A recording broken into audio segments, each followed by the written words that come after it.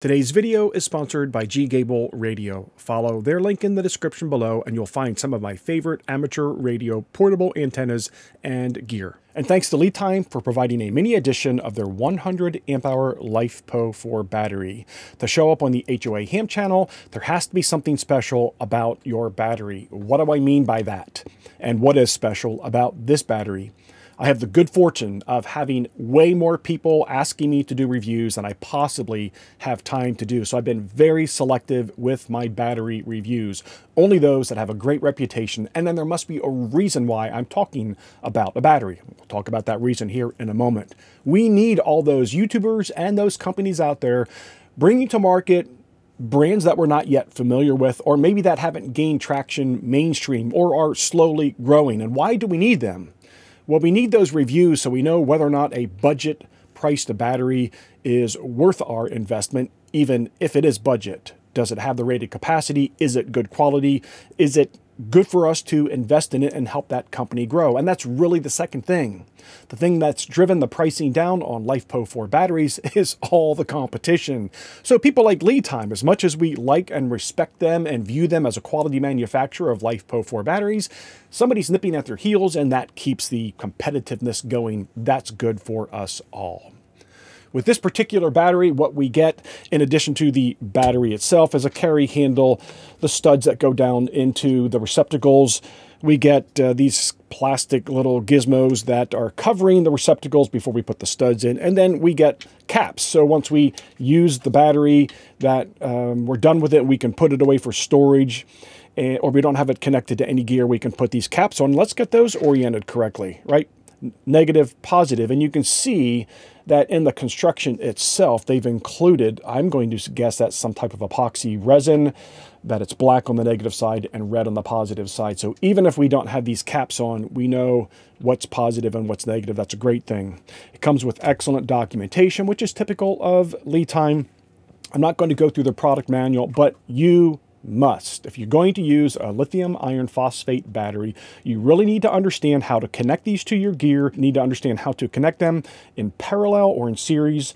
You need to understand the proper usage of these batteries, how to charge them, and how to discharge them. That is completely on you to make sure that you're operating safe, and this small manual helps you to do that. Why this battery? The carry strap is convenient. We're going to take that off before we flip it over on its side and get a look at the mininess, meaning the size of this. I think the strap is actually an opportunity for an improvement down the road as the manufacturers continue to be able to make these batteries more small. But I think this is here because to integrate a handle here in the top would take away from the mini option. And that's what this battery has uh, that makes it a reason to be on my channel and quite frankly makes it as a possible reason to be in your arsenal from a tools perspective. LiFePO4 batteries today, you should always be asking yourself a question, how am I going to use it? What do I need?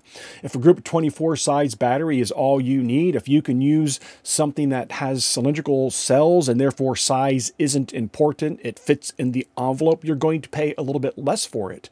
If you need something that's as minimal as possible and it's using, uh, I think these are called pouch cells, to get that small size, you have to pay for some of the more modern technology, the more expensive technology, because typically in electronics, reduced size usually results in increased cost. Maybe you need some Bluetooth connectivity. Figure out what it is that you need in a LiFePO4 battery in the 100 amp hour spectrum, and that's where you're going to put your money you're going to put your money here if small size is what you need because that's the reason for this battery to exist.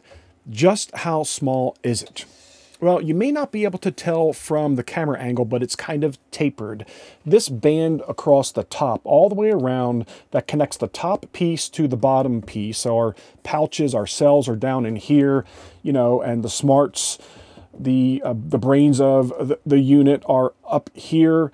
And so this is where the connectivity is. And if we stripped this top off, which I'm not going to do on my channel, we would pull this off. We would see the BMS right here in the top, the connection to the posts, and then we would go down inside and we would see the cells. So this right here is the largest part of the battery. How big is this battery. It's just under 10 and a quarter wide. You get to the bottom and it's like mm, 9 and 7 eighths. So you get the idea. It's largest here right around this band. How wide is the battery? Same scenario right here. It's just under 5 and a quarter. And at the bottom, it's more like 5 and mm, 15 sixteenths, just under uh, 4 and 15 sixteenths, 4 and 7 eighths. Whereas up here, it's almost 5 and a quarter. What's the last thing that we need to do is get a measurement in this direction. Forget the posts, because without the posts, it's uh, a little bit shorter. And we're at 8 and 7 eighths. With the posts, we're at eight, uh, 9 and 3 eighths. So 8 and 7 eighths just for the battery itself. And 9 and 3 eighths with the posts. Though this is as small of a 100 amp hour LiFePO4 battery that you're going to be able to get today. The reason for this to exist, the reason for this to make it to your shack, the reason for this to be in your portable uh, setup would be size. It is as small as you can go, and that's its reason for existing. Because it's small, does that mean we've compromised on capacity? Let's check that out next. Batteries like this typically come from manufacturers partially charged. So all I'm doing is confirming, yep, 13.17 volts. We need to top this off. I'm going to go ahead and connect it to my charger, get it completely charged, let it rest 24 hours. And then tomorrow we're going to go ahead and put this on our analyzer and confirm that mini in size does not mean mini in output. Will it get us to the full rated output? I'm sure it will. I use these alligator clips that I picked up from Amazon. It comes with the cable and it comes with the 50 amp power pole connector. So this is really convenient to attach it to things like this uh, CBA5. This is a West Mountain Radio computerized battery analyzer, one of the best you can get. And based on the amount of discharge that I'm going to run through this analyzer, 10 amps, it's going to take us more than 10 hours to complete the test. So what do you want to talk about for the next 10 hours? How about the fact that we want to talk about the different offerings from LiTime if you're watching this video, it's likely that you're familiar with the main competitors in this particular market. And this is about the smallest battery you're going to get in 100 amp hour capacity. There might be an outlier out there with one of the newer manufacturers, or I should say new to market manufacturers, but of the well-established reputable manufacturers, this is as small as you're going to get as of the airing of this video. So if that's your use case, this is the battery for you. If you need Bluetooth connectivity, then that would be an alternate battery. You need 200 amp hours, a different battery, and again, the chart that we have here in front of us helps us to make those decisions. As far as what the battery can do and how it protects you, it has all the overs. The BMS will protect you from over voltage, under voltage, overheating, overcurrent, short circuits. So these are very smart uh, devices that we have in our possession today. And again, refer back to the user's manual because it will tell you how to properly use and safely use this battery. Of course, for me, you know what I like to do. I like to uh, operate amateur radio, and why not have a small battery for my small radio? Of course, this battery, it will work with uh, the 100 uh, watt batteries, an IC705, uh, an FT991A, etc. But I have a 20 watt FX4CR. It's one of my favorite radios. But in addition to being able to power up my amateur radio devices, here's a use case that I always like you to know about as it relates to these 100 amp hour batteries. I'm a fan of the Allpowers R600 because of size. It's very small. The review that I did on this on my channel really got very pragmatic. I showed you how to fry an egg, boil water, uh, run a really small heater. This can't handle large, high capacity electronic devices, but for a couple of hours of power outage and you just need to get by a little bit, this is the way to go. The challenge is with these smaller units is they've got a small battery in them. That's the beauty of something like this 100 amp hour LiTime battery. This does not know that this is not a solar panel. So if I take this XT60 uh, connector and I put it in the solar charge port of my R600, watch what happens. Did you see that? It wakes up and it comes to life. I'm only at, well, I'm at 98%. It's showing my input at 46, 51, So 51 watts input, 98%. This battery right here, this R600 thinks this is a solar panel. So even if it were nighttime and I couldn't charge via solar to keep this topped off while I was using, you know, some small appliances, I can hook up my very small form factor, LiTime 100 amp hour LiFePO4 battery. This thinks it's a solar panel. It just keeps producing AC for me. This is DC, this is AC, this can do DC also. But while I'm connected here, my R600 thinks I have a solar panel connected. It's going to use the full capacity of this 100 amp hour LiFePO4 battery. That's a great trick when you're trying to maximize your solar generator, uh, your power station during a power outage or on a camping trip or, you know, some POTA activation. LiTime Battery knows how to make HOA Ham happy. Send him some logo stickers to go on his logo wall. Check.